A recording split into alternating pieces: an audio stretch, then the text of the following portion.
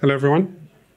Today we're going to talk about the undergraduate um, compiler techniques course in um, the University of Edinburgh. Uh, we teach about 150 students every year. Um,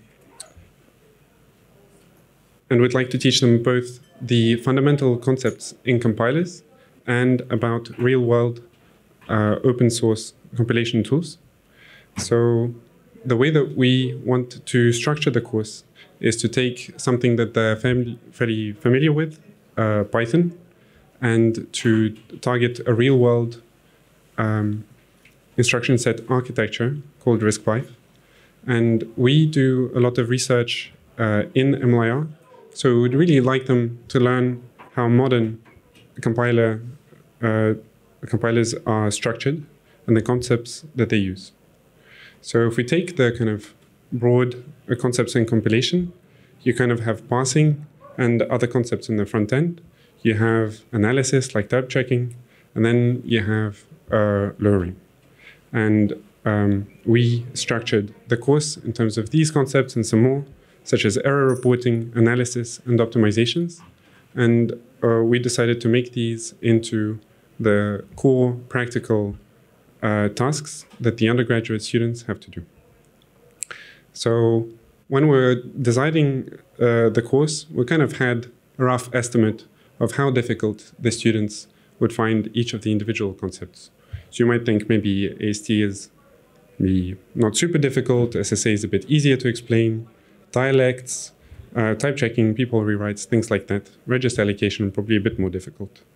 And one of the problems that we had with MLIR was that it actually involves quite a lot of complex infrastructure um, that it needs for its own use case as a production uh, compiler framework.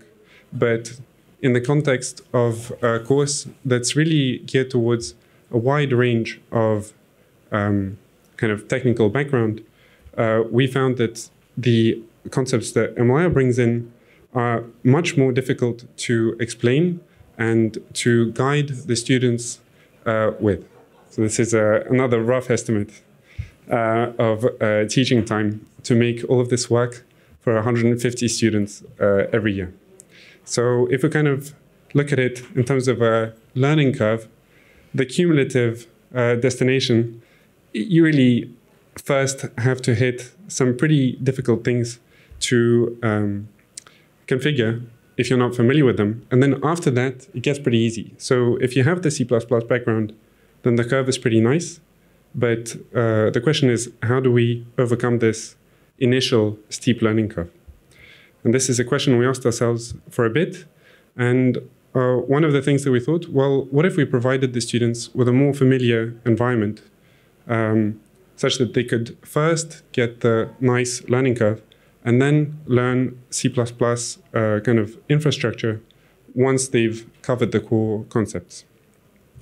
So one of the things that we thought was it would be nice to have these concepts available to the students in Python.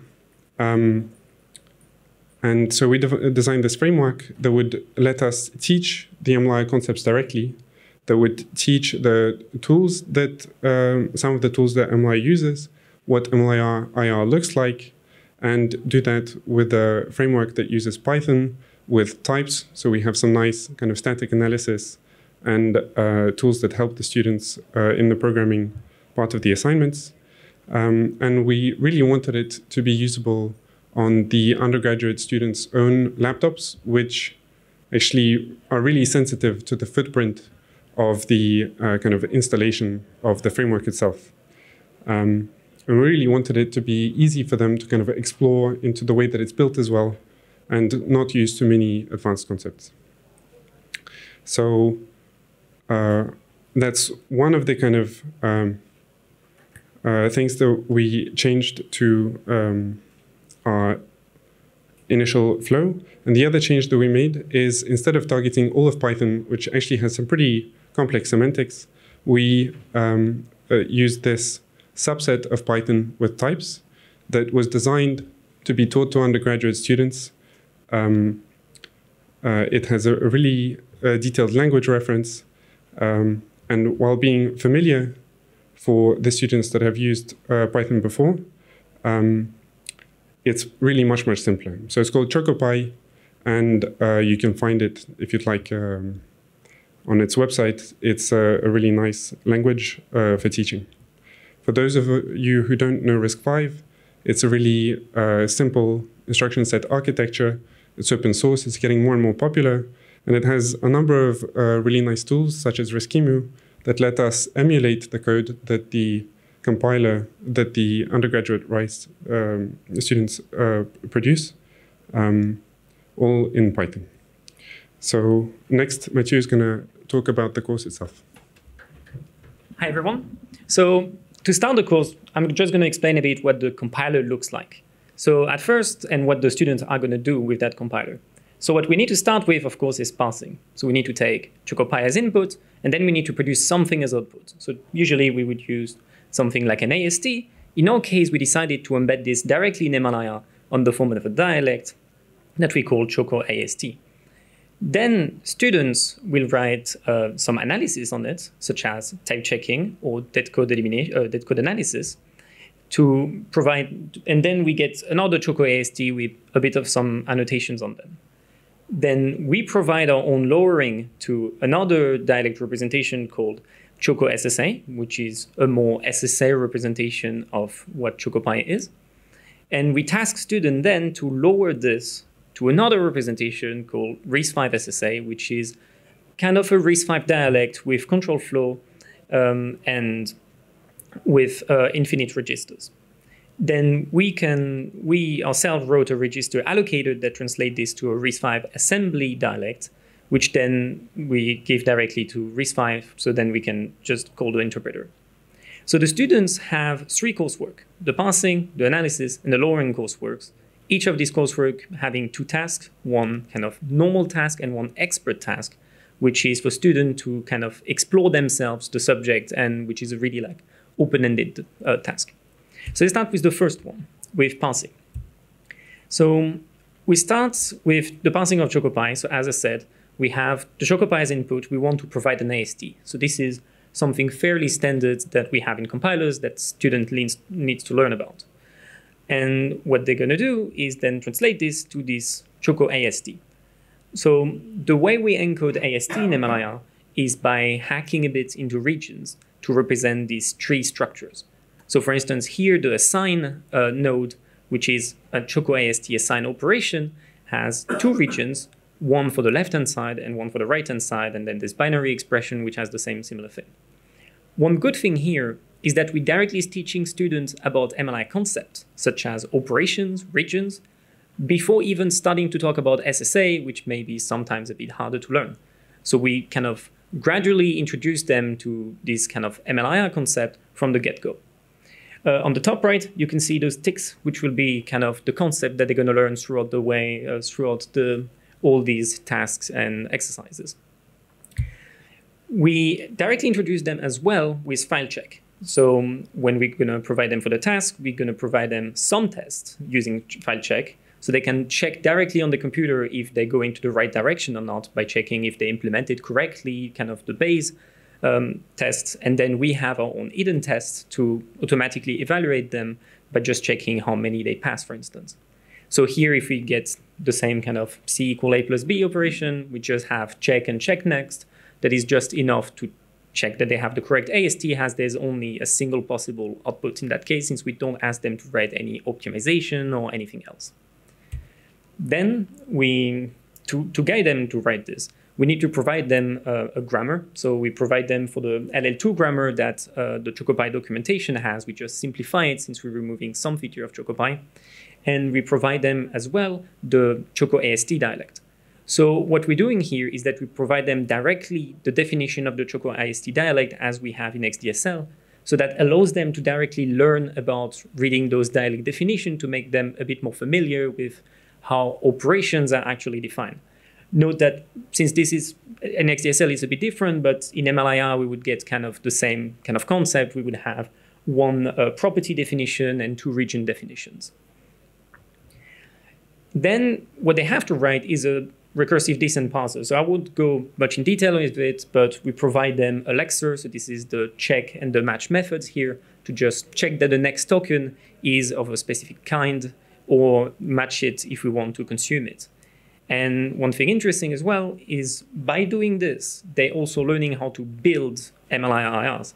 So here they're creating a new binary expression with the expression one and expression two as input for the regions. So this helps them as well a bit getting familiar more and more with MLIR. Now they understand how it looks like, now they understand how you can actually build it. The second task of the this kind of compiler front end where this parsing is the error reporting. We give them a more open-ended um, task on actually reporting correctly the errors that they have and having kind of nice error messages. In that case, that just teach them that compilers are not only about compiling, it's also about giving errors to the users in case there's a problem. So once they've done this passing to the Choco AST, they want, we want them to learn about writing analysis. So we're going to start by tasking them to write uh, type checking, which is one sort of analysis, you could say. We provide them with the basic type theory rules that we have. For instance, here, if we have e that is an int, an expression that is an int, then the negation minus e is also an int, and that's how we type correctly um, ChocoPy programs. We just have around 20 rules, if I recall we task them to write their type and their typing rules directly as attributes. So we show them that kind of MLIR programs can be extended with a bit more information, and we can use this attribute dictionary to write additional, I mean, information here, for instance, type information that we're going to use later on ourselves for the lowerings. We, after doing this type checking um, task, we task them to write a dead code analysis, which is really open-ended. We tell them that there's kind of four, five different ways we, um, four or five different definition of dead code. In that case, it's kind of a broad definition. We have unreachable statement, for instance. Here we have a print after a return, so that code will never be reached. We have unused variable. If you define a variable but never use it, this should report a warning. You have unreachable expression. So in that case, we have non-if true else foo, meaning that none will always be the one chosen and foo will never be called, meaning actually the function foo itself will never be called. And we have a new store, which is when you store in a variable, but you actually never read it. Where this becomes very open-ended is what if the top right example, instead of just saying if true else known, we do if x, if x, and x is assigned to true before, or x is assigned to an expression that will always evaluate to true. And this is where we task them as well to think about writing constant analysis so they can kind of a bit explore what you can do with analysis. So once that we done with the analysis, we're going to more of like the, core, the compilation part of the compiler with the lowerings. So we already provide them the lowering from our AST representation to the SSA representation simply because they have other classes and they don't have time to write the entire compiler. And now we task them to go from this Choco SSA representation to this RISC-V SSA representation. So if we take this simple example program, we take a boolean x equal to true, and then we just, if x is equal to true, we print zero, else we print one. Let's just forget that this code can be really easily simplified. And let's see how we can lower this from our Choco SSA representation to the RISC-V representation. So on the left, we would get what the, the students will get from the Choco SSA representation, which has control flow, which has definition for function, it has allocation, stores. And on the right, we would get, um, this is what we expect them to get at the end, which is this RISC-V SSA representation, which is a huge hack for MLIR because we have jumps, we have labels. There's essentially this is a graph regions where everything jumps everywhere. What we want is first we task them, oh, this is what happened with variables. We have literals that get translated to a constant in RISC-V. We get allocation, which get also translation translated to this kind of alloc in RISC-V SSA. And we have stores that get translated to stores. So alloc here will allocate on the stack or on a register if we can. Uh, and that's what the register allocation part is going to do. We have structured control flow, which get translated to jumps um, and labels. And finally, we also have call expression, which we kept in uh, RISC-V SSA to make a bit easier for students that don't have to think about what's going to happen with the call save, call save register, etc. Um, this this was for the task one. They also have to implement things like lists. What happens? How do we represent list in memory? And after that, the really open-ended task and where like students that really start liking compilers at that point will definitely do is what happens when you want to actually optimize this. So if we take a simple example, this is what the RISC-V looks like for the first time they're going to see it. And this is absolutely huge compared to what's the inputs look like. So um, students have different ways they can optimize it. We kind of give them four or five simple directions they could go. One of them is just looking at constant folding um, because they already have done a constant analysis. If they do constant folding, that if they can adapt it to a constant folding at whatever level in the IR, they could actually optimize some parts of it. There's also, it's a bit hidden here, but there's also stores that are directly followed by load at the exact same place in memory. They don't have to write something as complex as mem to reg, but seeing those patterns can quickly lead them to really nice, I mean, speedups. In that case, we just actually compare the numbers of lines of code that they output. But you have also other optimization they can do, such as improving the register allocation we give them. Um, at first, we only give them a register allocation that does not allocate registers and just put everything on the stack. And otherwise, what they can implement is something like InstCombine optimizations, like simple arithmetic optimization, like x plus y minus y equal, minus y equal x. So now that we've seen what kind of the compiler looks like and what uh, the student have to task, uh, let Sasha do the conclusion. Um, so what's really the objective of the course? Obviously, we want the students to learn the uh, concepts and the practical tools to implement compilers. But ultimately, we really want them to feel empowered to write their own compilers and to hopefully join the LLVM and the MLIR community and start contributing um, to LLVM and MLIR uh, directly.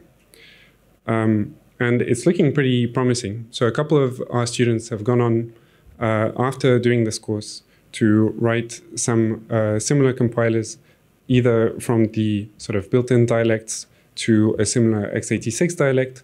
Another student has gone on to um, implement a part of uh, the ONNX to linalg uh, translation in xDSL, and hopefully that will also lead to some upstream work. And we've actually been able to use this tool initially intended for teaching for some pretty interesting research, like uh, how to compile linalg microkernels to some RISC-V based machine learning accelerators, and some other open source contributions, like stencil compilation for supercomputers. And some of that research that we've done has already started to be upstreamed into MLIR.